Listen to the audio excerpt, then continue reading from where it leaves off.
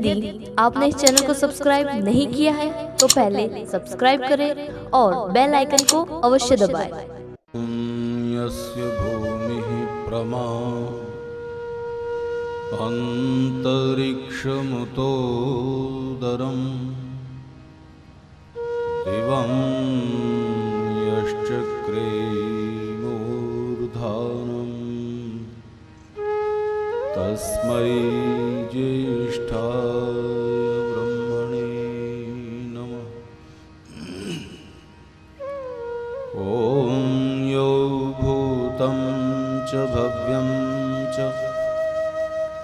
सर्वं यश्चाधितिष्ठति। स्वर्यस्य च केवलम् तस्मै ज्येष्ठाय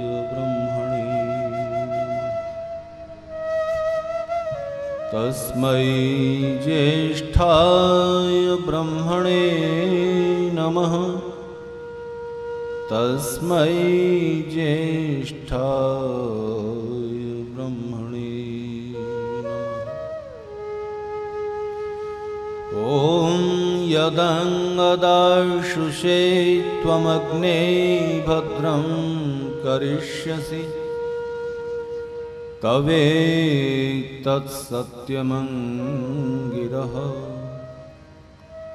तवेत्तत्सत्यमङ्गिरः तवेत्तत्सत्यमङ्गिरः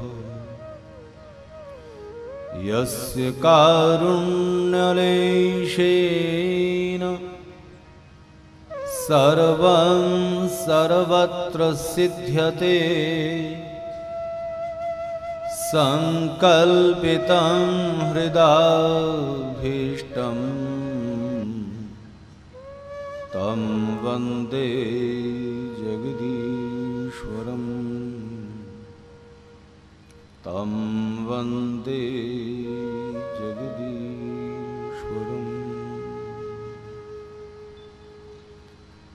आर्य समाज के प्रधान माननीय doctor V H Patel ji, महामंत्री श्रीयुत महेश जी गैलानी, सभी विद्वजन आर्य समाज के दूसरे पदाधिकारी जन, कार्यकर्ता, महानुभाव और विचारशील सज्जनों। संसार के वैज्ञानिक और दार्शनिक जीवन और जगत के बारे में बहुत सी खोजबीन करते रहते हैं और उनके अपने अनुसंधान, रिसर्च और विचार विमर्श के बाद उनके जो निष्कर्ष सामने आते हैं, जो कंक्लूजन्स निकलते हैं, प्रायः उनमें एक मत नहीं होता। कोई कुछ कहता है, कोई कुछ कहता है, कोई कुछ कहता है। लेकिन जिन बातों के बारे में हम सबका अनुभव एक जैसा हो जाता है, वहाँ पर मतभेद की सारी संभावनाएँ समाप्त हो जाती हैं। मतभेद की कोई गुंजाइश नहीं रहती और सबको एक मत हो जाना पड़ता है। अगर हम सबकी आँखें ठीक हैं और हमने किसी और रंग का चश्मा नहीं लगाया हुआ है तो इस शाल का रंग कैसा है, इस बारे में कोई मतभेद होगा? क्योंकि सबका अनुभव एक जैसा है। सब अपनी आँखों से इस शॉल का जो असली रंग है, वो देख रहे हैं और इसमें कोई मतभेद की संभावना नहीं है। जीवन के जिन तथ्यों और तत्वों को हम आँखों से, कानों से, जीभ से, त्वचा से, नाक से अपने अनुभव में नहीं ला पाते, उनको इंद्रियातीत कहा जाता है। इंद्रियातीत का मतलब जो हमारी इंद्रियों के ज्ञान की पकड़ से बाहर हैं। ऐसे तथ्य और तत्व जो हमारे इंद्रियों के ज्ञान में नहीं आते, उनके बारे में मतभेद की संभावनाएँ बहुत रहती हैं। फिर उन तत्वों और तथ्यों पर विचार करने के लिए हमें बुद्धि का और तर्क का सहारा लेना पड़ता है। बुद्धि और तर्क का सम्यक उपयोग करते हुए सम्यक का अर्थ है ठीक ठीक उपयोग करते हुए। और ठीक ठीक उपयोग का अर्थ है कि आपकी अपनी जो मान्यताएँ हैं, जो विश्वास हैं, जो पूर्वाग्रह हैं, उनसे हटकर, बिना प्रिजुडिस्ड हुए, बिना बायस्ड हुए, पूर्वाग्रहों के बिना जब आप बुद्धि और तर्क का ठीक इस्तेमाल करते हैं, तब आप सत्य के दरवाजे तक पहुँच जाते हैं। बुद्धि और तर्क आपको सत्य के द्वार तक लाकर छोड़ देंगे। फिर उस सत्य का प्रत्यक्ष आपको स्वयं करना पड़ेगा। वो सत्य अगर ऐसा है, वो तत्व अगर ऐसा है कि उसमें रूप है तो आप उसका प्रत्यक्ष आँखों से कर सकोगे। अगर उसमें गंध है तो उसका प्रत्यक्ष आप नाक से करोगे। अगर उसमें शब्द है तो उसका प्रत्यक्ष आप कान से करोगे। अगर उसमें स्पर्श है तो उसका प्रत्यक्ष आप स्किन से, त्वचा से करोगे। अगर उसमें शब्द, स्पर्श, रूप, रस और गंध इन पाँचों गुणों में से कोई भी गुण नहीं है, तब आप उसका प्रत्यक्ष अपने बुद्धि से या मन से करोगे और कुछ तत्व ऐसे भी होंगे जिनका प्रत्यक्ष बुद्धि और मन से नहीं होगा, बल्कि उसके लिए कुछ और ही तरीका अपनाना पड़ेगा। दुनिया में कुछ लोग आस्तिक हैं, ईश्वर में विश्वास रखते हैं। कुछ लोग ऐसे हैं जो ईश्वर में विश्वास नहीं रखते। ईश्वर में विश्वास न रखने वाले लोगों की संख्या भी बहुत बड़ी है। लेकिन ईश्वर में विश्वास रखने वाले लोगों की संख्या ज़्यादा बड़ी है। ईश्वर में जो लोग विश्वास नहीं रखना चाहते, उनके ईश्वर में विश्वास न रखने के नौ कारण हैं। कितने? नौ कारण हैं। इसी तरह जो लोग ईश्वर में विश्वास रखते हैं, उनके भी ईश्वर में विश्वास रखने के नौ कारण हैं। जो लोग ईश्वर में विश्वास नहीं रखते, उनके नौ के नौ कारण झूठे हैं। और जो लोग ईश्वर में विश्वास रखते हैं, उनके भी नौ कारण सच्चे हों, ये ज़रूरी नहीं है। जब तक आपका ईश्वर का विश्वास सत्य, आधार और सत्य कारण पर नहीं है तब तक आपका ईश्वर विश्वास पक्का नहीं होगा, सच्चा नहीं होगा और लाभदायक नहीं होगा। उदय जी ने गुजराती में न मालूम कौन सी बात कही थी कि विज्ञान के अनुसार आप किसी चीज़ का मैक्सिमम फ़ायदा उठाना चाहें तो आपको ऐसा करना पड़ेगा। और मेरे भाषण का भी लाभ उठाना चाहें तो आपको ऐसा करना पड़ेगा। ईश्वर के विश्वास का भी पूर्ण लाभ तभी होगा जब आप ईश्वर विश्वास का जो सत्य और पूर्ण आधार है, उसे अपने मन में आश्रय दें। तो ईश्वर में विश्व, मैं इस बारे में बाद में विवेचना करूँगा। अभी जो बात मैं कहना चाहता हूँ वो ये है कि ईश्वर में विश्वास नहीं रखने वाले जो नौ कारण हैं, उनमें से एक कारण ये है कि उन लोगों का ये कहना है कि कैसे माने हम ईश्वर को क्योंकि वो दिखाई नहीं देता। अब मुझे याद नहीं है कि मैं पिछले वर्षों में आपसे ईश्वर के प्रत्यक्ष के बारे में चर्चा कर चुका हूँ कि नहीं। अगर आप चाहें तो ईश्वर का प्रत्यक्ष हो सकता है और बिल्कुल इस तरह से होगा जैसे कि आप इस शाल को देख रहे हैं। इस तरह से आप ईश्वर को देख पाएँगे, एक स्तर पर। और दूसरा स्तर वो है जिसमें आप ईश्वर के मूल स्वरूप को, उसका जो विशेष गुण है, उसका प्रत्यक्ष कर पाएँगे। अगर मैं इन बातों पर आपसे चर्चा कर चुका हूँ तो मुझे बताइएगा तो फिर मैं इस विषय को नहीं छूँगा और नहीं तो भी बता दीजिएगा, ताकि मैं इसकी चर्चा आने वाले दिनों में कर सकूँ। अभी जो मैं आपसे बात कहना चाह रहा हूँ, वो ये है कि ईश्वर नहीं दिखाई देता, इसलिए लोग ईश्वर को नहीं मानना चाहते और ईश्वर पर संदेह करते हैं। पर अपने होने के बारे में किसी को संदेह नहीं है। मैं हूँ या नहीं हूँ, ऐसा कोई संदेह नहीं करता। अपने होने के बारे में सबको विश्वास है। और हम समझते हैं, हम सब समझते हैं कि मैं तो हूँ, मैं तो हूँ, मैं तो हूँ। लेकिन हमें अपने स्वरूप का प्रत्यक्ष है। क्या हमने खुद को देखा हुआ है? आप शीशे में जिसको देखते हैं, वो आप नहीं है। वो तो आपका शरीर है। और एक दिन आता है जब ये शरीर जिसे आप रोज शीशे में देखा करते थे एक दिन ऐसा का ऐसा ही पड़ा रह जाता है। और उसके अंदर जो ये महसूस करता था कि मैं हूँ, और ये मेरे आसपास मेरे जैसी दूसरी सत्ताएँ हैं, ये मेरे आसपास, ये मेरी पत्नी, ये मेरे पति, ये मेरे मित्र, ये मेरे सखा, बंधु माता पिता रिश्तेदार, इस सब का अनुभव करने वाला और अपने होने का अनुभव करने वाला जो तत्व था, वो अब वहाँ नहीं है। आपने कभी उसे देखा? पर उसमें तो आप बिना देखे विश्वास करते हो। खैर, ये आवश्यक नहीं है कि जिस चीज़ को आप प्रत्यक्ष न कर सकें, उसमें आप विश्वास नहीं करेंगे। हाँ प्रत्यक्ष के तरीके हो सकते हैं। प्रत्यक्ष स्वयं का भी होगा और प्रत्यक्ष परमेश्वर का भी होगा।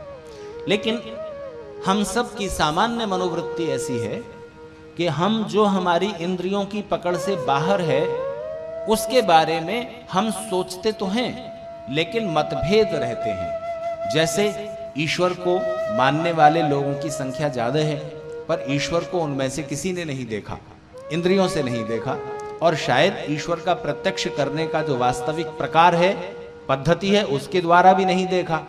तो वो बुद्धि के द्वारा सोचें तो भी ईश्वर कैसा है, इस सत्य के दरवाजे तक पहुँच जाएँगे। पर वो बुद्धि से भी ठीक ढंग से नहीं सोचते। किस तरह से मानते हैं? जैसा उन्हें बता दिया गया है। उनके धर्मगुरुओं ने, उनके पैगंबरों ने उनके धर्म प्रवर्तकों ने जैसा समझा दिया, उस पर वो आँख बंद करके विश्वास करते हैं और इसी कारण मतभेद है। अगर बुद्धि और तर्क का इस्तेमाल ठीक ढंग से किया जाए तो भी आप बहुत, ठीक ढंग का मतलब कि बिना पूर्वाग्रह के, पहले से जो आप मानते आ रहे हैं किसी चीज़ के बारे में जो दिखाई नहीं देती इंद्रियों के द्वारा, उसके बारे में आप पहले से जो मानते आ रहे हैं, उससे चिपको मत। उससे हट के सोचो।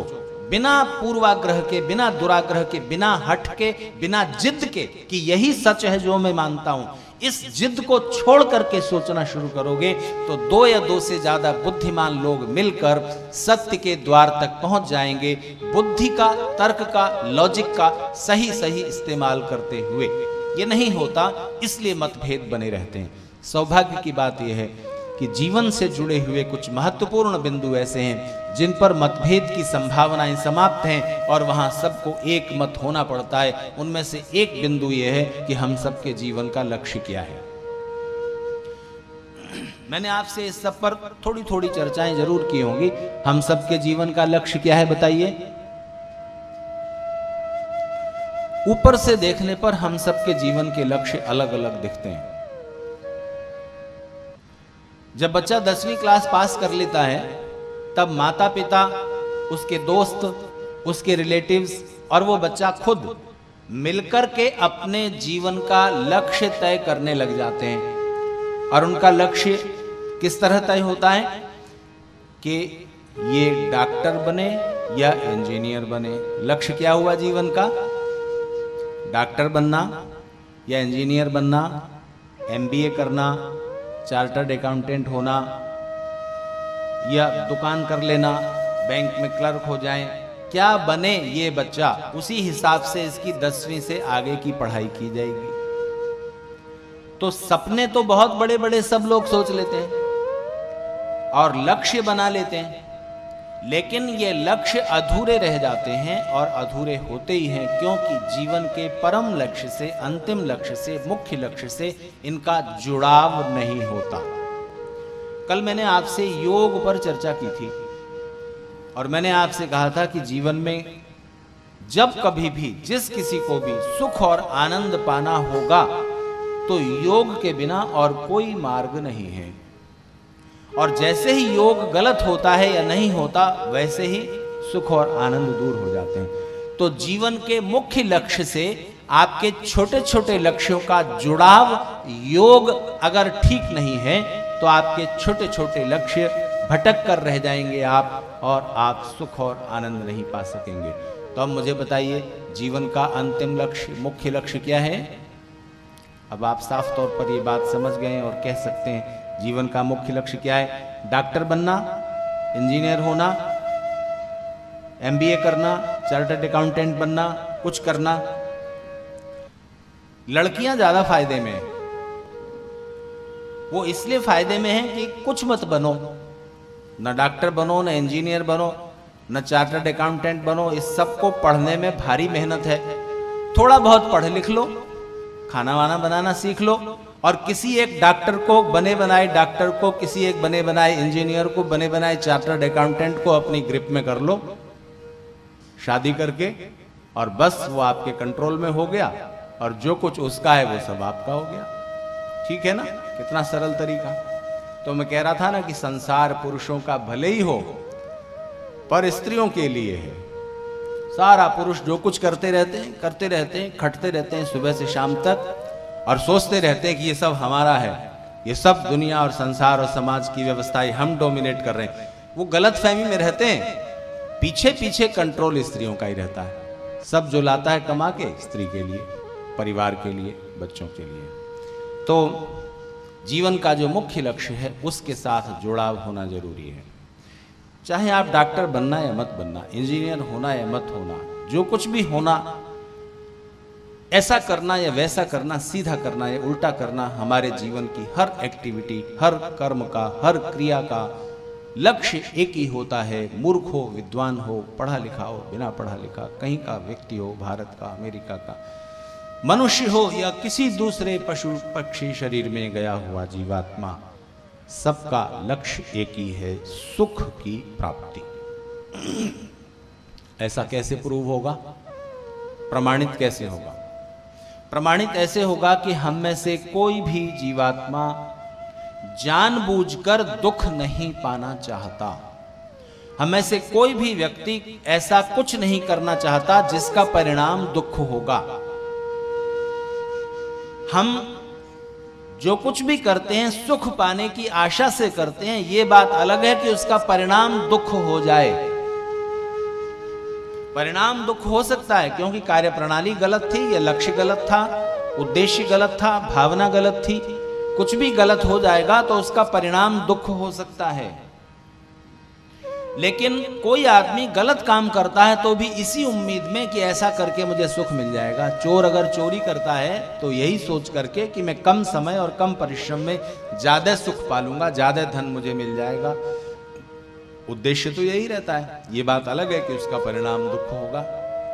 ये उसकी सोच की और जीवन शैली की भावना की कमी है, गलती है, इसलिए उसका परिणाम दुख होता है। तो हम सबका अनुभव कहता है और इसलिए मतभेद की कोई गुंजाइश नहीं रहती कि हम सबके जीवन का उद्देश्य सुख प्राप्ति है। क्योंकि हम सबका अनुभव ये बोलता है कि हम सब सुख पाने के अभिलाषी हैं और जानबूझकर हम कुछ भी ऐसा नहीं करते जिसका परिणाम दुख हो। मनुष्य शरीर के अलावा जितने भी पशु पक्षी हैं, उनके जीवन में भी सुख है और मनुष्य के जीवन में भी सुख है। लेकिन आनंद मनुष्य का ही सौभाग्य है। पशु पक्षियों के जीवन में आनंद की उपलब्धि नहीं है। सुख उनका भी भाग है, सुख मनुष्य का भी है। क्योंकि सुख प्रकृति के पदार्थों में है। प्रकृति के पदार्थों से सुख उपजेगा। मनुष्य और पशु दोनों उस सुख को प्राप्त करेंगे। मनुष्य सुखों को भी कुछ विशेष स्तर दे सकेगा। मनुष्य सुखों को भी कुछ विशेष स्थिति में लाकर उनसे सुख अनुभव कर सकेगा, सुख प्राप्त कर सकेगा। पशु वो नहीं कर सकेगा। यानी मनुष्य सुखों को भी कुछ उत्कृष्ट स्तर पर ले जा सकता है और आनंद तो सुख से ज़्यादा बड़ी चीज़ है ही। मैंने दो तीन वर्ष पहले आपसे चर्चा की थी कि इस संसार में आसपास जो कुछ भी फैला हुआ है, जो कुछ भी पदार्थ हैं, उनको दो हिस्सों में बांट सकते हैं आप, दो हिस्सों में। एक तरह की चीज़ें वो हैं जो अपने होने का ज्ञान रखती हैं। हम और आप, पशु पक्षी, एक छोटी चींटी, उसको अपने होने का ज्ञान है कि नहीं? और उसे अपने होने के ज्ञान के अलावा सुख दुख का भी ज्ञान है कि ये चीज़ मेरे लिए सुखद है, ये चीज़ मेरे लिए दुखद है। एक चींटी को जरा सा छुओ, उसके पास जरा सा पानी डाल दो, तुरंत उससे बचेगी। वो जानती है कि ये मेरे लिए दुखदाई है। आग से बचेगी, दर्द से बचेगी। और आप उसके पास चीनी का कण उससे थोड़ी दूरी पर डाल दो, चावल का दाना थोड़ी दूर पर डाल दो, तुरंत वहाँ पहुँच जाएगी। वो जानती है, ये मेरे लिए सुखद है। तो हर प्राणी को ये ज्ञान है, अपने होने का ज्ञान अपने आसपास जो चीज़ें हैं उनके सुखद या दुखद होने का ज्ञान तो एक तरह की चीज़ें वो हैं जो अपने होने का ज्ञान रखती हैं और मेरे आसपास क्या है इसका ज्ञान रखती हैं और वो आसपास जो है वो सुख देने वाला है या दुख देने वाला है इसका ज्ञान रखती हैं। दूसरी चीज़ें वो हैं जो अपने होने का ज्ञान नहीं रखती। वो ज्ञान रहित है, वो जड़ है। ये माइक इसे नहीं पता कि ये है और ये क्या कर रहा है। जिस कुर्सी पर, जिस दरी पर, चादर गद्दे पर आप बैठे हुए हैं, उसको नहीं पता कि ये है। जिस गुब्बारे से ये बालक खेल रहा है इस, गुब्बारे को नहीं पता कि ये है और इसका क्या उपयोग किया जा रहा है। ये कुर्सी नहीं सोच सकती कि ये है और इनके ऊपर ये अस्सी किलो के महाशय बैठे हुए हैं कब उठेंगे? उसको इस बात का कोई बोध नहीं है। तो दुनिया की सारी चीज़ें दो हिस्सों में बंट गई। एक वो जो अपने होने का ज्ञान रखती हैं दूसरी वो जो अपने होने का ज्ञान नहीं रखती। ध्यान दीजिए जो अपने होने का ज्ञान नहीं रखती वो सारी प्राकृतिक चीज़ें प्रकृति से बने हुए पदार्थ उनके लिए हैं जो होने का, अपने होने का और दूसरों के होने का ज्ञान रखती हैं। जो अपने होने का ज्ञान रखती हैं, वही तो सुख दुख का ज्ञान रखती हैं। तो सुख दुख कौन उठाएँगे? जो ज्ञानवान है। और किन से उठाएँगे? उन वस्तुओं से जिनमें सुख या दुख देने वाले गुण मौजूद हैं। तो प्रकृति के पदार्थों से आप सुख उठाते हैं, पशु भी सुख उठाता है। लेकिन पशु सुख उठाएगा, जैसा वो पदार्थ है, उसको वैसा ही खा पी करके सुखी हो जाएगा, तृप्त हो जाएगा। उसमें वो कोई विशेषता नहीं ला सकता। लेकिन मनुष्य को प्रकृति के उन पदार्थों से सुख पाने के लिए उनमें कुछ विशेषता लानी पड़ती है और उनका योग करना पड़ता है। योग माने उनको ठीक से जोड़ना। एक गधा, घोड़ा, गाय, भैंस, ऊँट, बकरी, ये सब शाकाहारी प्राणी हैं। बाहर जैसे भी घास फूस पत्तियाँ उगी हुई हैं, उनको ये पशु खाते हैं, जैसी हैं वैसी। उसको कभी आपने फ्राई करके बढ़िया टेस्टी बनाते देखा किसी भैंस को? कि इस घास को मैं जरा छीलूं, काटूं और इसको तेल में सरसों के जरा फ्राई करूँ, इसमें नमक, मिर्च डालूं तो ज़्यादा टेस्टी हो जाएगी। ऐसा कोई भैंस कर सकती है? जैसा है, उसको वैसा ही एक्सेप्ट कर लेना है। उन पशु पक्षियों के जो वनस्पतियाँ हैं, जिनको वो खाते हैं, वो भी अलग अलग हैं थोड़े थोड़े जैसे भैंस, गाय जिस घास फूस को खा लेती है, बकरी उससे डिफरेंट खाती है। बकरी जिन पत्तियों को बड़ा स्वाद लेकर चबा जाती है, गाय उसको नहीं खाएगी। बकरी नीम के पत्ते को बड़ा स्वाद लेकर खा लेती है, गाय नहीं खाती कड़ुई है। बबूल की पत्तियों को कांटे सहित बकरी चबा जाएगी, गाय नहीं खाती। हाथी जिनमें स्वाद लेता है ज़्यादा, वो ऊँट नहीं खाता। ऊँट खा लेता है बहुत सी ऐसी चीज़ें जो हाथी को स्वाद नहीं लगती। तो शाकाहारी हैं, लेकिन समानता ये है कि उनकी वनस्पतियाँ कुछ कुछ अलग अलग भले हों लेकिन जैसी उगी हुई हैं, बस वैसी की वैसी वो उसे स्वीकार कर लेते हैं और उसमें कोई चेंज नहीं ला पाते, कोई नयापन नहीं ला पाते। बस मनुष्य को ये सौभाग्य है कि वो सुख को भी कुछ विशेषता दे सकेगा और उन पदार्थों को योग करके, उनको जोड़ करके नई नई चीज़ें जोड़कर उनका, उनकी केमिस्ट्री बदल जाती है। उनमें नयापन आ जाता है और उसको मनुष्य जानता है। ज्ञान के द्वारा कर्म के साथ जुड़कर वो योग स्थापित करता है, पदार्थों को अलग अलग ढंग से जोड़ता है और नई नई चीज़ें बनाता जाता है। अच्छा बताइए, है तो चने का आटा ही, बेसन, लेकिन उसी से पकोड़ा बन जाएगा और उसी से सोन पापड़ी बन जाएगी, बेसन का लड्डू बन जाएगा। अंतर किस चीज़ का है? बस एक एक दो दो चीज़ आपने अलग अलग कर दी। सोन पापड़ी भी मीठी है और बेसन का लड्डू भी मीठा है। दोनों में घी पड़ा है, दोनों में चीनी पड़ी है, दोनों में चने का आटा है। फ़र्क किस बात का है? फ़र्क किस बात का है? कुछ चीज़ें कम ज़्यादा कर दी, कुछ चीज़ों का जुड़ाव कम हो गया, कुछ चीज़ों का जुड़ाव ज़्यादा हो गया और बस योग का अंतर हुआ और टेस्ट डिफरेंट हो गया। हो गया कि नहीं हो गया? तो संसार के पदार्थों से आप सुख पाएँगे, वो सुख भी योग के द्वारा विशेष स्थिति में आ जाएगा। कल मैंने आपको योग शब्द के चार अर्थ बताए थे। कौन कौन से याद दिलाइए? जिन्होंने सुना है वो बताएँ, कुछ लोग नए बैठे चार अर्थ बताए थे कौन कौन से? एक तो अभी मैंने आपको फिर से क्लियर किया, योग का अर्थ जोड़ना, ठीक ढंग से जोड़ना, जुड़ाव, योग। दूसरे? दूसरे योग का अर्थ है मन की वृत्तियों को रोकना योग चित्त वृत्ति निरोध। ये चित्त की वृत्तियों का रोकना आपको समाधि तक पहुंचाएगा। योग का तीसरा अर्थ है, जो श्री कृष्ण बताते हैं, कौन सा? समत्वम योग उच्यते। समत्व का नाम योग है। समत्व समझते हैं ना? चीज़ों को सम कर लेना, बराबर कर लेना। अब अगर गुजराती के एक शब्द का आप इस्तेमाल कर लें तो इस शब्द का अर्थ और खिल जाएगा। बराबर करना और बरोबर करना में क्या फ़र्क है?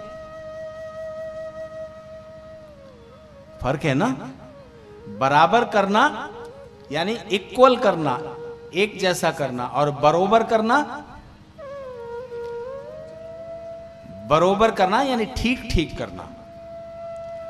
जैसे, घी में शहद अगर बराबर मिला दिया जाए यानी मात्रा क्वांटिटी बराबर बराबर हो तो वो विषाक्त हो जाएगा, नुकसान पहुँचाने वाला हो जाएगा।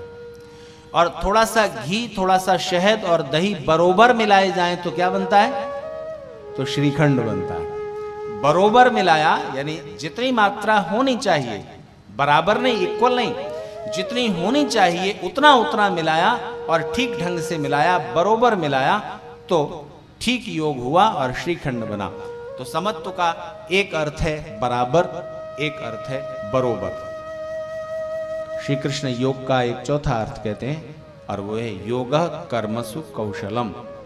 कर्म को इस तरह से करना कि आपको उसके एक नहीं, आठ फ़ायदे मिल जाएँ। ये योग है।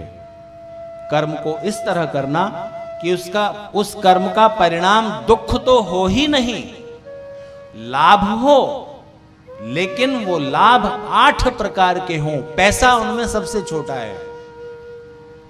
पैसा तो मिले ही, लेकिन पैसे के अलावा सात फ़ायदे और मिले। और अगर आपने कर्म को इस तरह से किया कि बदले में आपको सिर्फ़ पैसा मिला तो आप घाटे में रहें। बहुत ज़्यादा घाटे में रहें। क्योंकि सात फ़ायदे आपसे छिन गए ना। और प्रयास कितना करना होगा उसके लिए? प्रयास करना होगा बहुत जरा सा। बहुत जरा सा। उस प्रयास के लिए आपको पसीना नहीं बहाना है। उस कोशिश के लिए आपको पैसे नहीं खर्च करने हैं। उस कोशिश के लिए आपको मेहनत नहीं करनी है। बस जरा सा प्रयास करना है और उस जरा से प्रयास का परिणाम यह होगा कि आपका कोई भी कर्म आठ फ़ायदे देने वाला हो जाएगा। आठ।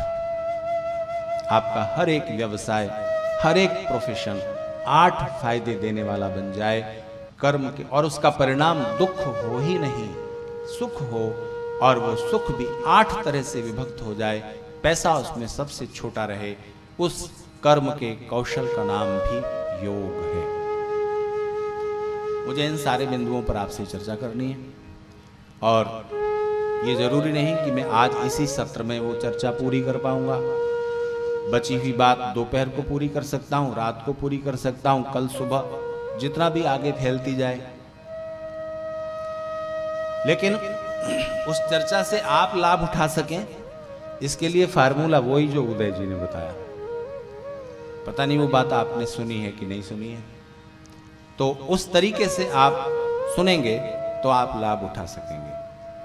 तो योग का जो अर्थ जुड़ाव है, उसमें प्रकृति के पदार्थों को जोड़कर आप सुख प्राप्त करेंगे और उस सुख को विशेष स्तर पर ले आएँगे जब आप ठीक ढंग से जोड़ेंगे। अभी पिछले दिनों मैं करीब एक डेढ़ महीने से लगातार यात्राएँ कर रहा हूँ। कहीं गया कहीं गया कहीं गया और अलग अलग समुदायों में गया।